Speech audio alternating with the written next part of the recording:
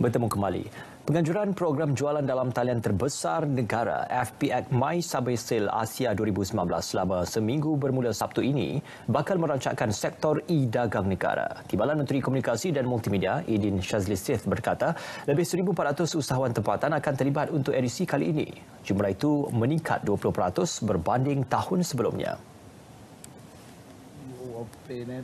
Jelas Idin acara anjuran Persatuan ICT Kebangsaan PCOM ini juga mendapat penyertaan memberangsangkan daripada usahawan mikro. I was made to understand that more than 50% of the merchant are really to ship orders to overseas customer. The proactive approach that SMEs are taking in getting on to the e-commerce platform spells great progress for the growth of the economic sector in Malaysia. Beliau berucap pada majlis pelancaran program FPX My Cyber Sale Asia 2019 di Ibu Negara.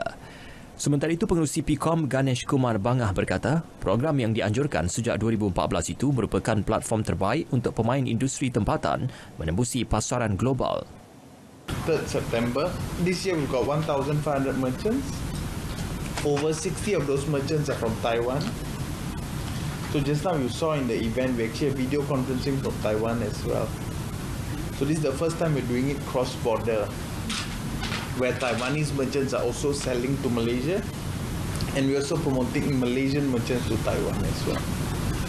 Beliau menjangkakan penganjuran kali ini akan mencatat nilai dagangan kasar sebanyak 500 juta ringgit, manakala jumlah ekspor pula 80 juta ringgit.